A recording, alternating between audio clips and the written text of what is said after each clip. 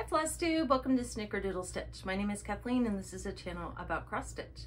If you've been here before, thanks for visiting again, and if you're new, welcome. I have a lot of stitching to show this time. I have two FFOs, I have some other stitching, and then I dabbled a little bit more with fabric dyeing, and I have a tiny, tiny bit of haul, just a couple things to show. So, um, yeah, I'll try to get through this. I'm probably gonna have to stop and take some drinks because nothing seems to be quenching my thirst. It is hot here. It's in the low 90s, but the humidity is 69%, so it feels like a sauna. I'm not a fan of summer. I prefer winter over summer any day, even as a kid. Um, it just, it's that kind of sticky where you get out of the shower and you never really feel like you dry. And this is with AC running all the time. Um, it's just miserable right now. So I'm really looking forward to Alaska. I looked at the temperature there in Sitka and it's only 55 this week. That's the high. Um, so I'm excited about that in August. I will have definitely had it with summer by then. We've only had a few weeks of this kind of heat, um, but this week it's pretty oppressive. So anyway, I probably will have to stop to take drinks a couple times. But let's dive into the stitching that I have finished. Um, first, a shout out to a couple of my viewers. I showed these pins uh, in my last video. I used them to attach the little teeny tiny embroidery piece on the Stitcher Cat from Cotton Pixels. And they're these cute little pins, if I figure out how to open this thing, that look like, like uh, let me find a color that will show up. They're shaped like this.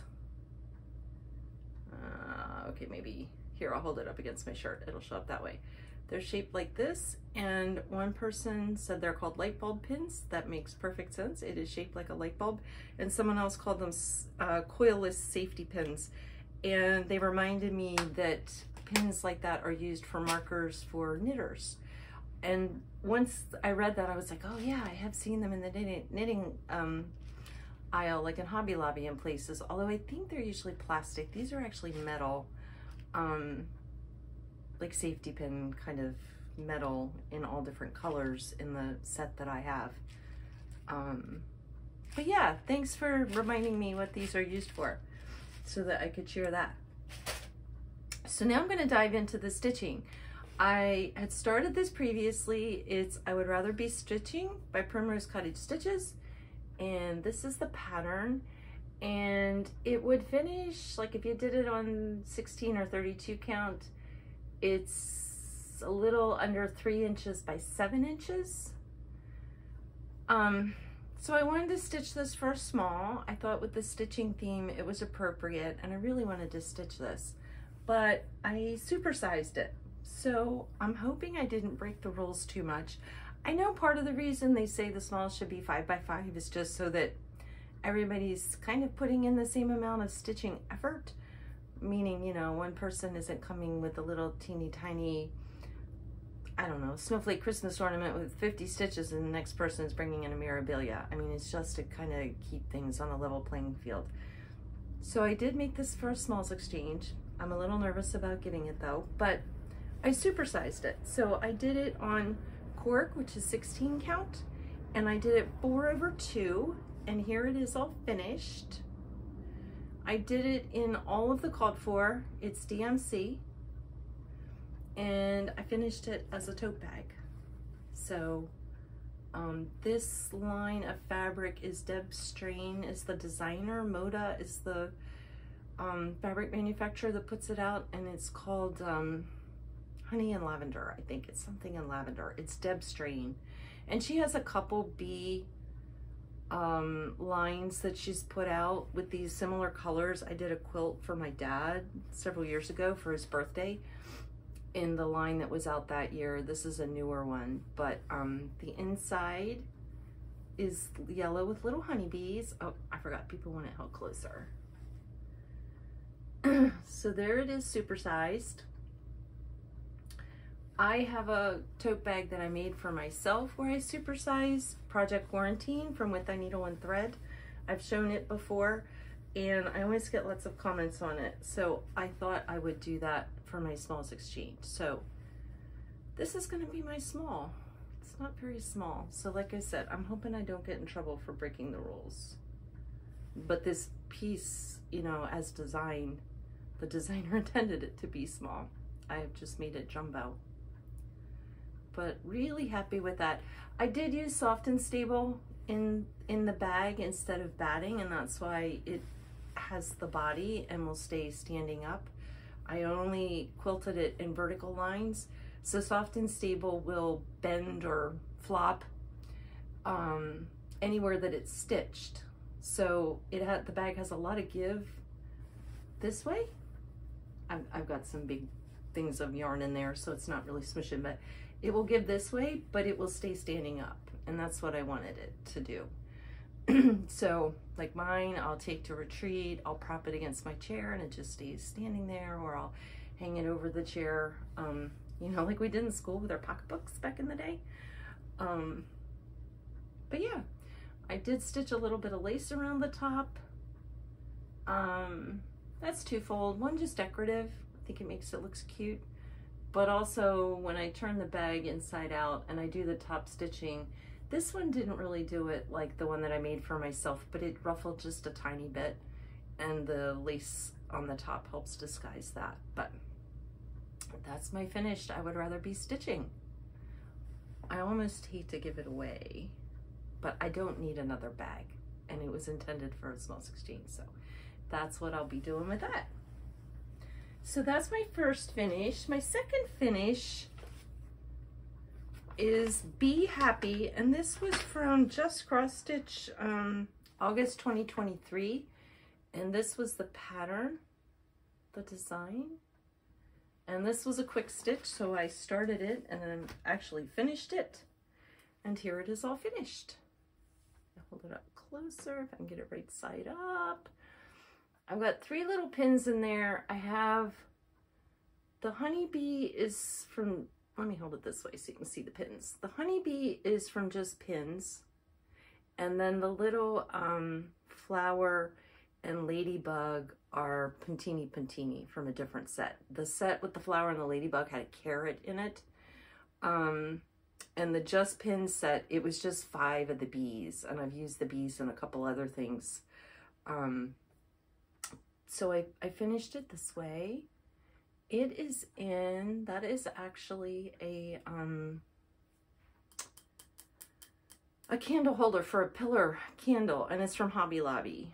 So I'm sure I got it when it was 50% off. So it was 250 and it is the perfect size. I like looking for pillar candle holders to put round things in.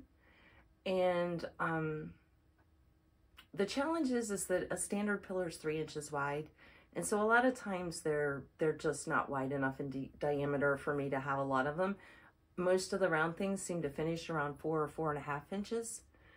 Um, but this was wide enough. And so I bought it at Hobby Lobby. Is This is smushy. And I'll tell you my hack for that. So I made a pin cushion not too long ago um, to put in a tart tin. And I did it the way Hands On Design shows doing it, which is, you know, pulling your um, polyfill, fluffing it up by pulling it, um, kind of putting it in so you've got your, your stitched piece, you've done a running stitch around, and then started gathering it so it kind of looks like a shower cap, if any of your mothers wore shower caps back in the day. Um, so it kind of looks like a shower cap, and you put your polyfill in, and then you maneuver your um, a, like a round piece of cardboard in there and then pull your running stitch so that it will gather around it. That I had a couple challenges with that. For it to get enough polyfill in there that I like the poofiness, it was really unmanageable. Like it just kept wanting to pop out different directions. Um, or I would get it in there, I would pull my stitch to, you know, to gather it around the cardboard and it would have a lump on one side. It just was really difficult to manage, I thought. Like I needed six hands or something. I don't know. I don't even know that more hands would help because you're dealing with this tiny little thing too. So I had the idea for this one. So this is what so soft and stable looks like that I used for the bag. It it's a it's it's not a batting. Um, I don't know. Maybe you'd call it an interfacing. it's foam and then it's lined with fabric on both sides. So you can see it, it's, um, you know, it's foam, it bends, but it stands up. So it's used for bag making. It, Soft and Stable is made by Annie's. There's a couple other brands. Pellon makes one that's kind of similar. And Bosal is another brand that's popular. I prefer Soft and Stable, and I bought a case of it from Craftsy years ago that I'm still working my way through. Um, but I had used it for the bag, and I had some little pieces like this left, and it is it is a pricey um, product, so I'll keep the small pieces even just to make change purses, you know, something this size out of it. Um, so when I went to start finishing this, I thought, you know what? I wonder if I could just glue some batting down on the cardboard and that way it's all fixed. I'm not having to try and hold polyfill in while I'm doing anything. Um, I'm not trying to keep anything smooth.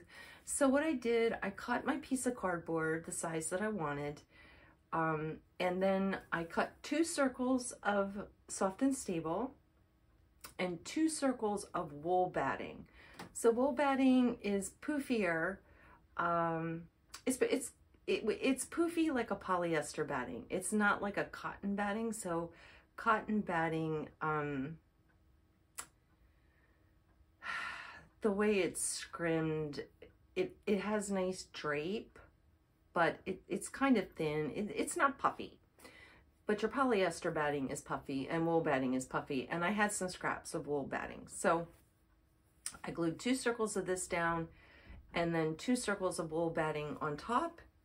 And then I did my, you know, drawstring pulling around and I am so happy with the results. Much, much, much happier than I was with the polyfill one that I attempted a few months ago. Um, it is a little bit firm, but it's kind of nice because it holds the pins in. The polyfill, to get it poofy and thick enough that it would really hold the pins nicely, then it became unmanageable or really just didn't even fit.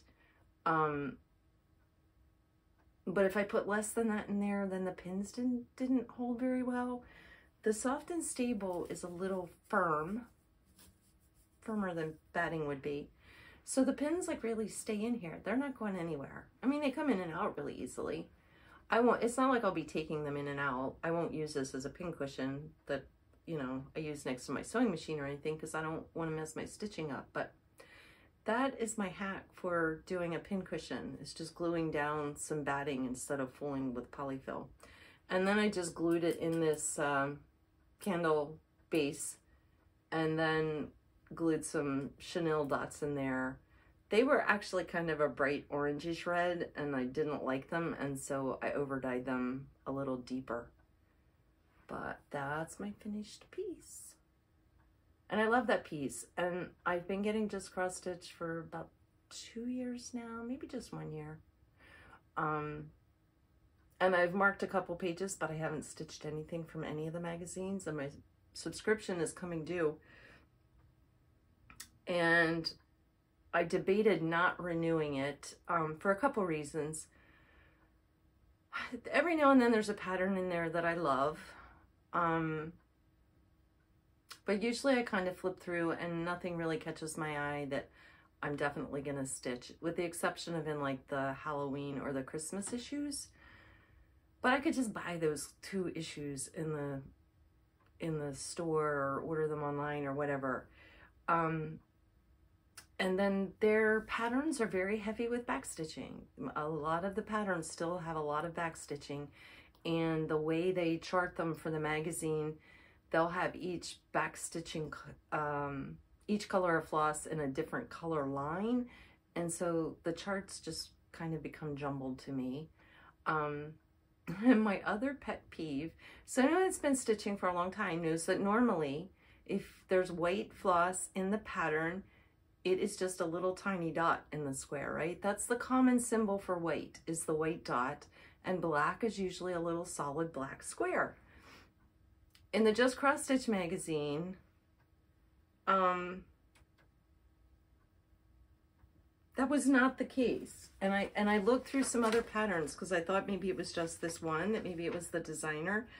but it seems to be the um, pattern standard. So white was a diamond. The little dot was actually black. So the single little dot in the square that normally would be white is black. And all of the white on here was a little diamond shape. If you can see the white, there's quite a bit of white on this. Um, well, that kept throwing me because I'm trained so many years of stitching that those are two symbols that are pretty consistent designer to designer. It's almost just like a standard and just cross stitch doesn't follow that standard. Um, so anyway, enough about that piece and my griping about um, symbols used. Last time I mentioned I had lost this pattern for the Jardin Privé ABC de la Brodeuse. So I thought I knew where it was. It wasn't there. My house is very neat. Um, I do have a lot of craft stuff. I have a lot of crafting hobbies with quilting and stamping and cross stitching and but everything has its place. Um, and my mind usually knows where I put something, even with all of the supplies that I have. I could not find this darn pattern. Um, then I went to finish the supersized small, the Primrose Cottage stitches, a couple days after my last video, and I couldn't find this pattern. I went, wait a minute, wait a minute. It wasn't in the project bag where it should have been with that project. And I thought, this is ridiculous. I cannot have lost two patterns. So then it dawned on me, wait a minute, the only time those two patterns would have been pulled out together was to film a floss tube. So I went in the other room and I had the stack of dyed fabric that I had shown, I think two floss tubes ago. Um, and sure enough, both patterns were stuck in there. So they, they were still, it was a pile, this bed um, in the daytime is behind me when I'm on camera for work. And I had picked up the stuff from here and put it in the spare room that's next door so that it wasn't all this bed can look a mess by the time I'm done filming. Um, and I had quickly moved it so that it wasn't back there when I started my work day and the patterns were still in there. So I located my ABC, ABC de la Brodeuse and I stitched another um, scroll width. That's kind of my goal, I think, each two weeks is to get one width of this stitch. So I had this uh, needlepoint words and I had this banner, although not the bottom of it. So everything else that's on here, I stitched.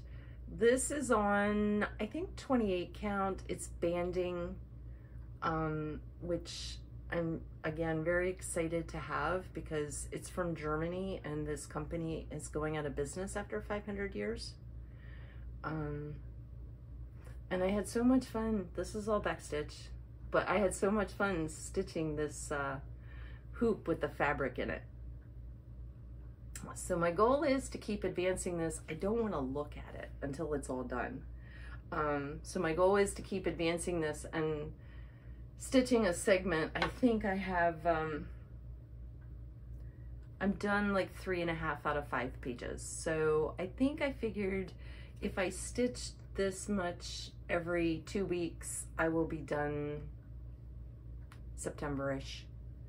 Um, this won't go with me to Portland and Alaska just because it's too bulky and heavy to pack. One thing you might have noticed, you see this um, batting over here. So this banding, this is gonna be a really long piece. It's 40 some inches long when it's finished and I'm, I'm pretty, I'm over like two thirds of the way through. Um, because you've got all this stitching in the middle, when you roll it, it will start to distort just because this is now thicker here because of all the stitching than over here. And so it starts to distort a bit. You can probably see it um, on this side with the Quaker. See how it's pulling down? Um, and so I take some narrow strips of batting and just roll them into here just to even that out and reduce that distortion. It still happens a little bit, but I like my fabric pretty tight and that's part of it too. It's just how tight I have it pulled, but I'm loving this. It is all stitched in the as called for colors except for the two reds. The pattern calls for two pinks, I think 223, 224. Um, the 220 series of pinks along with these blues, which are like the 9, 926, 926, something like that, 930 maybe. Um, I've got the pattern right here. Uh, 926. So those blues and those pinks make me think two 1980s. It's very much the Dusty Rose and Williamsburg Blue that were big in the mid to late 80s. Um, and I love red. So I swapped out for two different reds. So everywhere it calls for light pink, I'm using 321 and everywhere it's calling for the dark pink, I'm using uh, 816. So that's the only change I made. Everything else um, is as charted. And I can't even really claim that idea for my of my own. Um, on the Jardin Privé website, if you look at this pattern on their website, they have some pictures of other people's pieces that they had done and someone had done this with the reds instead of the pinks. They had a couple other changes in theirs too. Um, and I tried jumping, they gave the link to the, the person's site or Facebook, Instagram, something, blog maybe. And I tried going there to see if they listed their full color conversion, but I couldn't even find this piece on their site. So they've uh, cleaned up and removed it at some point. But So I'm gonna keep working on that one. And now I've got a start, two starts. Oh no, this isn't a start. This is another whip. You saw this before. Um, Madame Chantilly on the beach. I started this one also a couple times ago. I want to take this to Stitch New Jersey um, because it's a lot of just block, like this, this late house is just going to be a lot of solid stitching, not a lot of counting. And so it's going to be easy for me to stitch, you know, with every talking and everybody thing going on around me. Um, but I wanted, I really would like to finish this this summer. I don't want it to be another whip carrying into next year. And it was stitching up pretty fast. So I had started and just done the white scrolly bottom, which is like the, you know, it's supposed to be like the sand dunes. Sorry, it's not focusing very well so that you can see that. Um, and then I was doing some things like the umbrella poles, just some things so that a lot of the heavy duty counting was done. and I did the little girl and the little boy in their bathing suits. But I decided it was going to be a little bit more all these little cabanas than I would probably get done at Stitch New Jersey. So I wanted to stitch on this a little bit more. Um, so I did, and I got about a third done. I've got this side done. Um, the little plane up here. Their little banner that the plane is um, pulling says holidays, and I'm gonna make it say Rehoboth. Rehoboth is a beach here in Delaware, and it's a beach that I grew up going to. It's very close to where I, I lived, where my dad still lives. Um, and these sticks, these are just, they're umbrella poles. So at this point, I just have a lot of um, kind of block things left to stitch. The fabric, the color's actually showing up really well tonight, is Mani di Donna, and I think it was just called something like yellow and blue, orange and blue, orange and blue. Um, but it has a very beachy look to it. It looks in person not quite as orange. It looks a little more sand-like, and then the blue. So I'm really happy with the fabric. I did make one change. Um, I started stitching the critters down here, and I'm not stitching my crabs red. So um, we have Maryland blue crabs here and they turn red when they're cooked. So it always makes me a little crazy to see red crabs in beach scenes because red means they're cooked, they're ready to eat. So I did make him blue. And then um, this dark color here, and it's over in this umbrella, so Madame Chantilly typically calls just for DMC. This one is all DMC except for that dark color. And it was a floss that I had never heard of. It was Onyx Atelier, maybe? I had to Google it. And when it came up, it's an overdyed floss that's available in France. So can't get it here. So I just rated, this is um, Cousin It from Roxy Flasco. is what I, I'm using for the dark one. It's a little bit, it's a green, a dark, dark, I don't think I can get the color to show up. It's a dark, dark, dark green, um, like darker than my shirt, obviously. Um, not as gray as what it called for, but it's not used anywhere that has to be gray. So that was just in my stash what I had that I thought was going to work the best. So that's what I went with.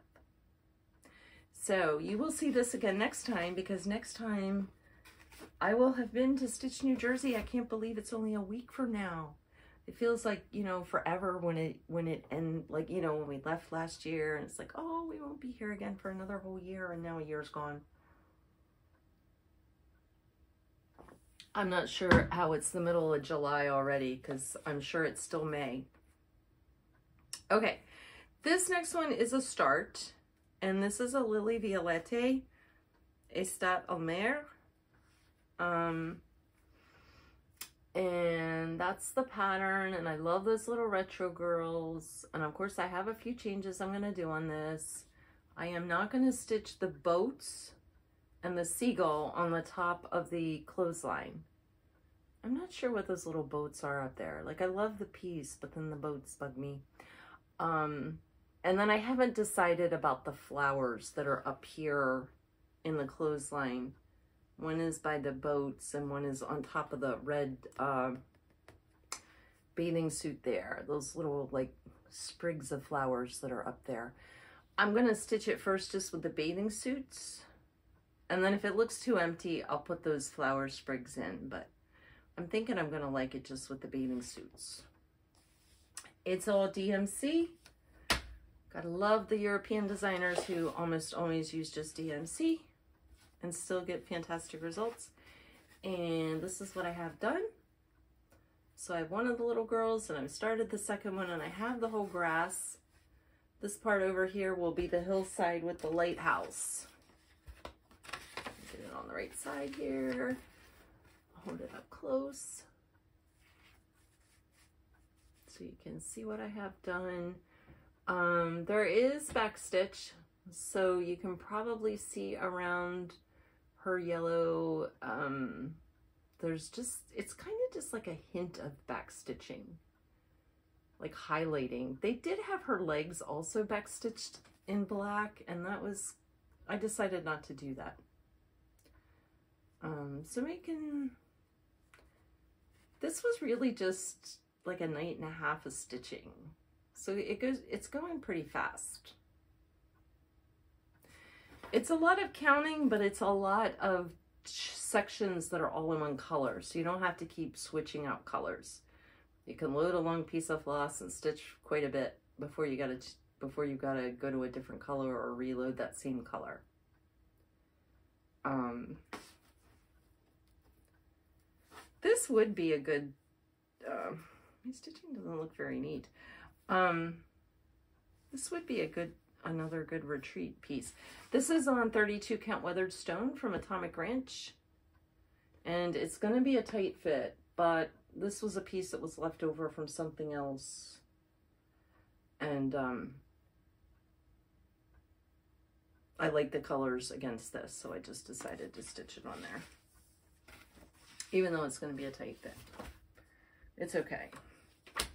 All right, my last, my, oh, my last cross stitching. I have other stitching to show. I, wanting to play some more with my K's Creation stand. Um, I'm still loving it.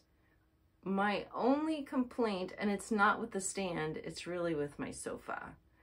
The arm on my love seat where I sit to stitch, the arm is a little bit high, not, not real high, it's high enough that when the bar from the stand, because I have this, the stand is off to the side and then the bar comes across, um, I need the bar to be like an inch or inch and a half lower, but it can't go lower because of the arm of the love seat. So I'm just dealing with it for now and trying to decide if I want to rearrange the living room to put the recliner back on that side of the living room It doesn't really organize as well that way. So do I want, uh, you know, form over function? that's what I'm I'm toying with now. So for now, I've I'm just been kind of con continuing to play with it. Um, the Mirabilia and the Scroll Rod, the other two pieces that I show, I had in Q Snaps. Um, the Q Snaps do slip a little bit um, when they're in the, the clamp. And it may just be that I'm not clamping it tight enough. I think what I may try is putting a piece of like non-skid carpet, you know, that, that rubbery kind of stuff that you can put under a throw rug so the throw rug doesn't slide. I think I'm going to cut a little piece of that and try wrapping that around when I clamp it in. I think that will keep it from slipping and solve that problem. It doesn't slip bad enough that it's unusable. It's probably just annoying more than anything. Um, but I think that might solve that problem. But anyway, Princess Eliana. Last time you saw this, I had this yellow part down here done and the purple underneath. And what I did this time, you see this dark band on the edge here? And then there's also a dark band that comes in up through here. This is really hard going backwards. And that's what I stitched. And it's not gonna look like much. Oops, one moment please. I've got a little tangle happening with my flosses for this. And I've dropped them. Um, this is on Fabric by Stephanie Oceantide. As I drop it. Sorry, but I have to cover my face. So what I did was all this. All of this dark brown. And it doesn't look like much, but it's almost 2,000 stitches. So it's a lot. Um, and I'm almost done that dark brown and now I get to start on the greens. Oops, so I'm excited about that. Um, cause yeah, ne next up above, there you can actually see the color better further back. Next up above are all of the greens that come into play. I am still questioning my sanity a bit for picking this bright Ocean Tide. Um, but what I dropped earlier, I carried in, this is most of the flosses. There's a couple purples that aren't in here. Um, this is the colors of floss for it. And I just decided to lean into the bright. And so that's why, um, and I did use the fabric viewer. It's a, it's a website where you could test different fabrics. And I did use it for this. This is all of the um, 1 to 34, I think, the newer colors. And then there's a whole bunch of other colors, and there's a couple purples that I know aren't in here because I never put them back after I stitched all this purple on the bottom. But those are the colors and where I'm at. So that's my dark gray. I'm not sure when this is going to get stitched on next. Um, this weekend. I'm not sure how much stitching I'm going to get done. And next weekend is Stitch New Jersey, and that's not going with me there. All right. Um, I'm trying to figure out how to unbury stuff to show you things in the order. I should have. I've got too many big things this week. Everything's a little unwieldy. So the other thing I worked on was project bags. I've got a big stack here. Oh, those are my little tags that say Snickerdoodle Stitch. So I had told Arlene that I would donate some bags for the raffle. And so I have three bags for that. I did this one. I did this one. And I got little um, zipper pulls on them. And I did a beach one. So I've got three bags for her for the raffle. And then I have a whole stack of more like each of these. And I think I'm gonna use them for table gifts at a retreat. I mean, it's more than I need for table gifts, but um, I don't know. It's like 25 project bags. I went a little crazy cutting them out and making them. So those were fun. Then I've got a couple, I've got a fabric dilemma here. So I was gonna get your opinion on this. I had, by the pricking of my thumb, something wicked this way comes. So Normally for Halloween, I'm all about the cute. I'm not really about the like goth spooky, but I love Macbeth and that's what this is from. It's Macbeth, I don't know, Act 4, I think. Um, and it's the witches in the play that are that are chanting this around the cauldron in the one scene. and so I saw this one stitched up. It's not very big. It's maybe six by 10, something like that. It's fairly small. And then more recently, I saw that La-D-Da also has Double Double Toil and Trouble, Fire Burn and Cauldron Bubble, which is the end. This is the beginning, this is the end, I think, of that same, same scene. Um, so here's my dilemma. I had picked up Weeks Dye Works Scoopernog to do, Scuppernog, Scuppernog? Scuppernog, Scuppernog what the heck is Scuppernong? I gotta Google that. Um, I had picked this up to do this on, but I really would like to do them on the same fabric, maybe even as one piece. But the witch's nose is this color, and I, I don't know if it's gonna show up enough. So that's my dilemma, and I'm trying to decide, do I do it on this either as one piece or as two. Do I continue with this fabric choice? Is the green going to show up enough? It might. It, it is lighter. It doesn't clash. Um, my other thought was possibly just doing the saying and the witch, both sayings and the witch's shoe and not doing the witch's nose. So, sorry, there's glare. Just doing the shoe and then just working the words in, I would have to, well, they are the same size. So, um, same number of stitches. So I wouldn't have to like rechart or anything. I would just put the words in down below. Sorry, I'm getting one thing turned one direction, the other one turned the other direction. My other possibility, and this is where I want opinions, I could continue with Scuppernong, or I showed last time, no, a couple times ago, the Aida that I had dyed for Halloween Quaker from Lila's Studio. And this one I rejected because it got these black spots on it, which made me a little crazy. So this is the one that I was going to use for that piece. So there's threads and stuff hanging on it. Um, this is the one I was going to use for the Lila Studio Halloween Quaker. And I could do the two, um, do these on blue. So the witch's nose is going to show up pretty bright. Um, would give them a little bit different look and feel. So, do I stick with the Scuppernong do I do it on the blue or do I go to a plan C? Which by the time I get around to stitching these, could be a possibility. So that, that I wanted to see what people thought about that. I gotta put this where I'm not gonna lose it. Let me just, I'll deal with that later. Sorry folks. Um, All right, I have a cup. I have one more thing to show. I think just one. Yeah, well, one pile.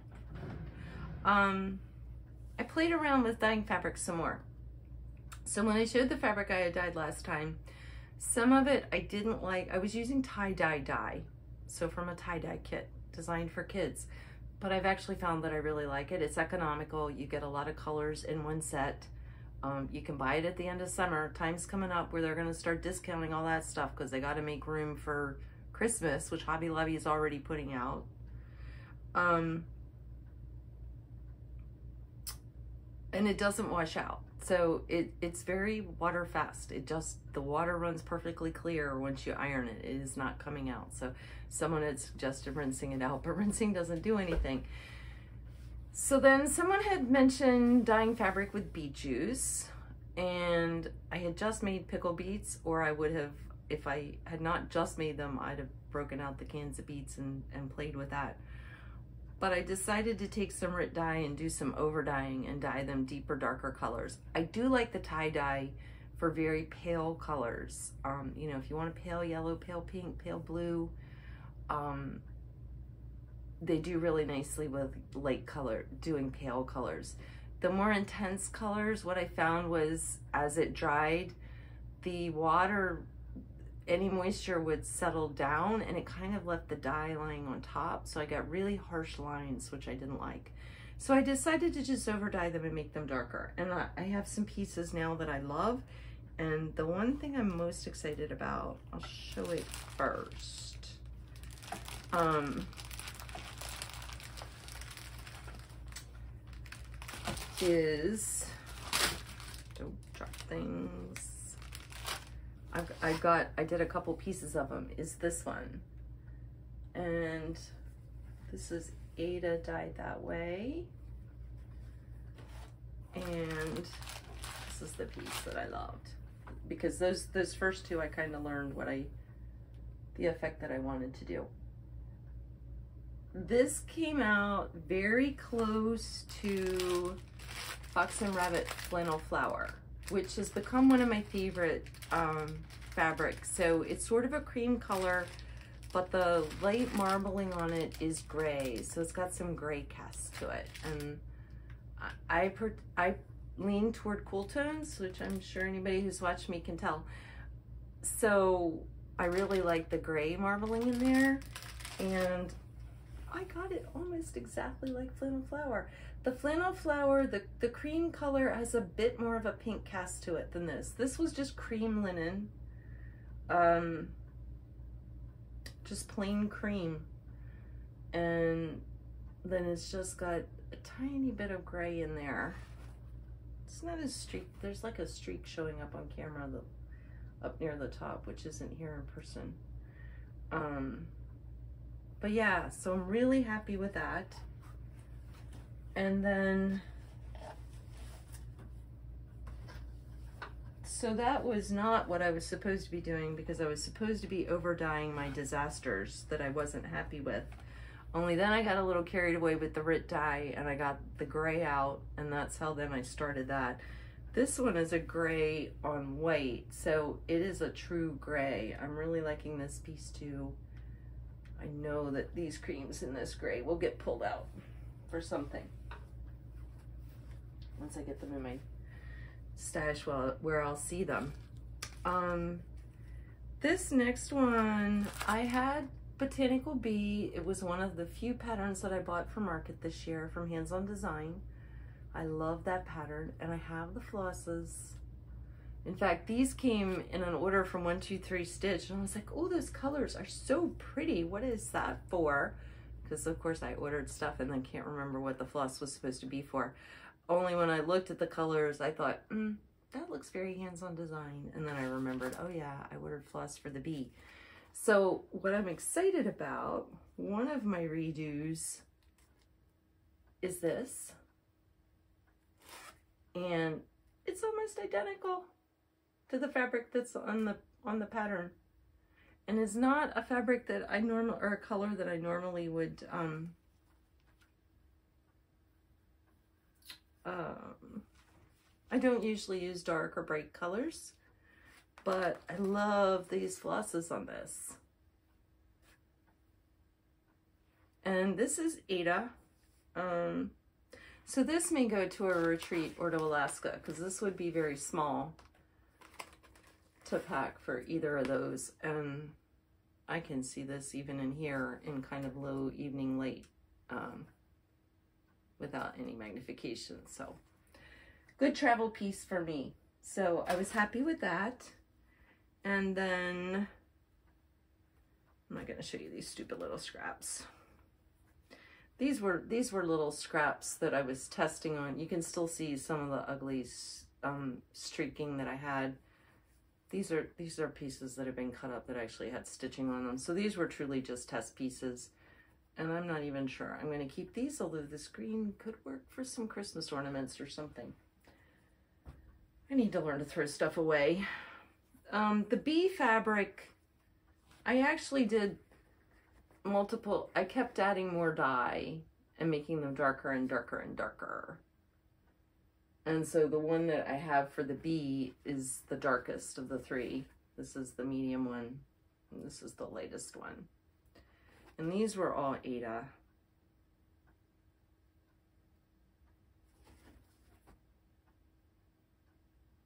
Some kind of Aida scraps. Yeah, this I had tested stitching on for something and then must not have liked the coverage.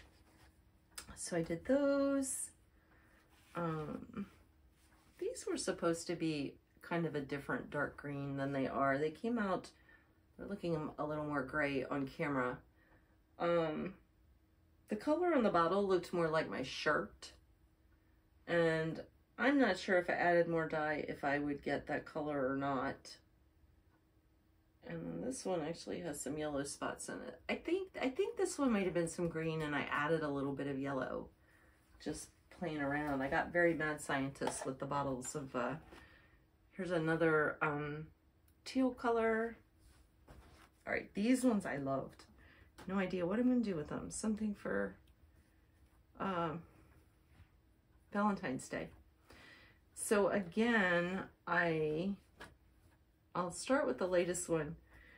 It's really obvious the streaks that I wasn't happy with and then I dyed the whole piece this darker pink and so now those streaks I'm not crazy about them still but they don't bother me as much as they did.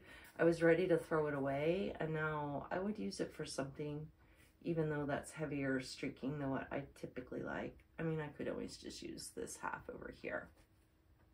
So that's the latest one. And then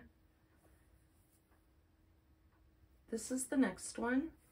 Ooh, that looks bright on camera. It's a little more, it's a little more melony than what it's showing up. Not as hot pink, more melon. Um, this is the same thing. Again, it should be more melon looking, but this is uh, either Brittney or Lugana. It's not linen. The last two were linen. And then this is the darkest one. This one is linen. I got a little carried away because I liked that color was so pretty. Again, it's, well, okay, this one is maybe showing up a little more true. It's not hot pink at all. Um, so it's still not quite right with the color. but it's much darker. And then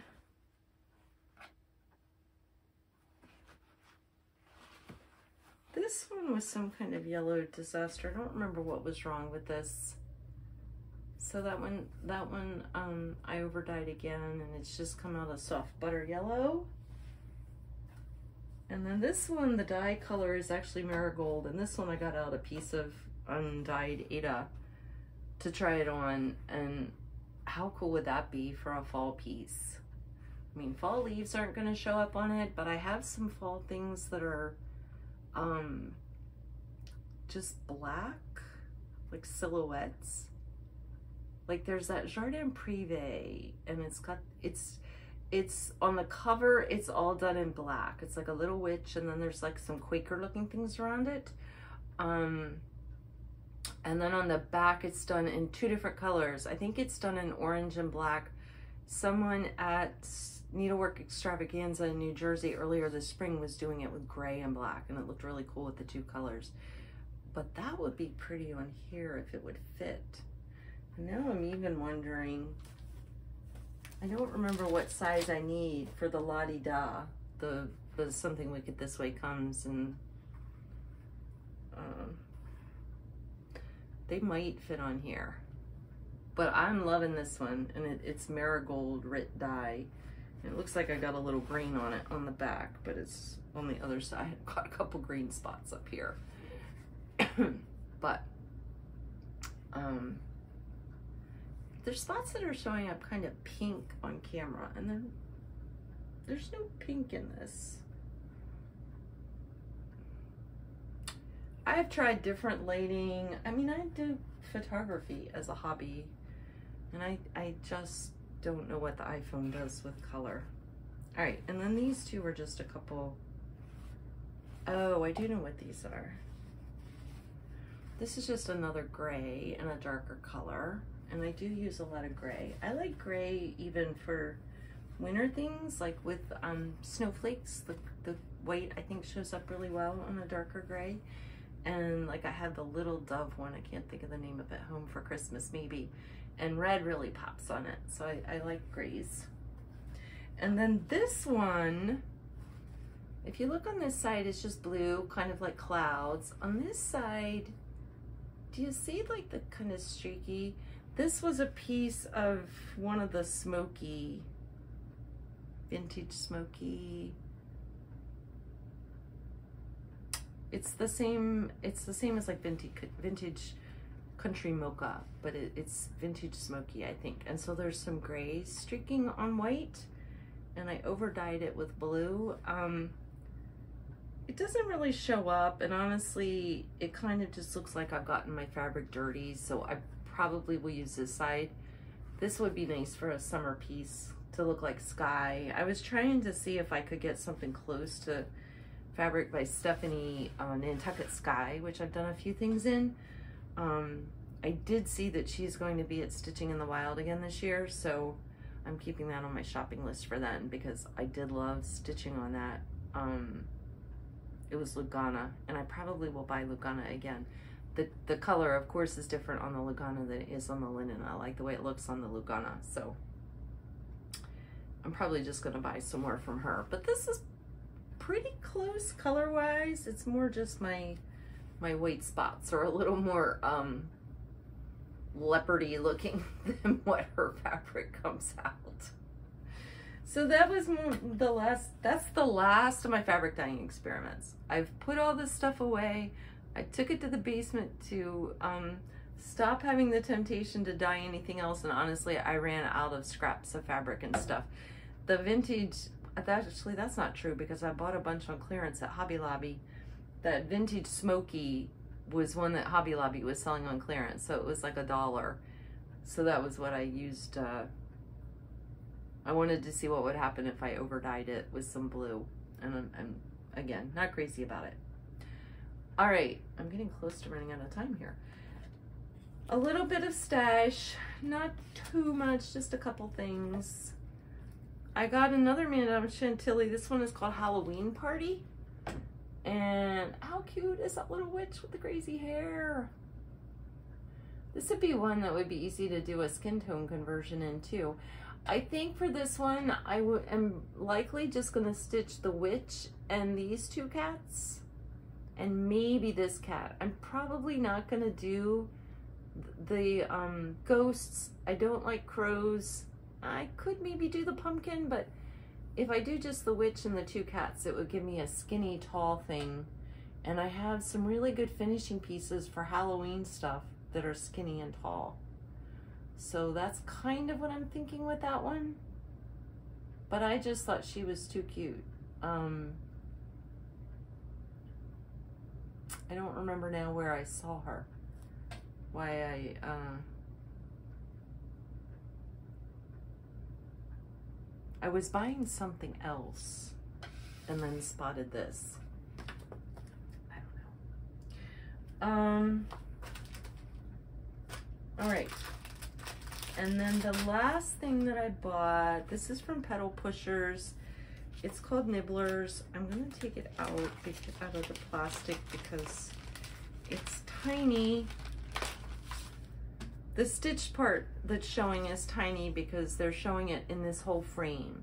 So I don't know if you can see, but in the strawberries, there are little teeny tiny mice peeking out of some of the strawberries and they're on this frame that's painted pink that has that's the mouse and the wood mouse piece is from oh Scarlet Sky Designs. They are an um I think they were Etsy. I can't remember if they were Etsy or if they had a website. I just searched Scarlet Sky Designs and it came up. Um but like here's a little mouse right there. And there's one right here and there's one kind of peeking around the corner right there So really cute little mice in that one. And so I did order the wood piece and the wood piece just arrived. I got them in the mail today. And so I thought I would go, I've had the pattern for a few weeks, but I thought I would go ahead and show them now when I got the wood piece.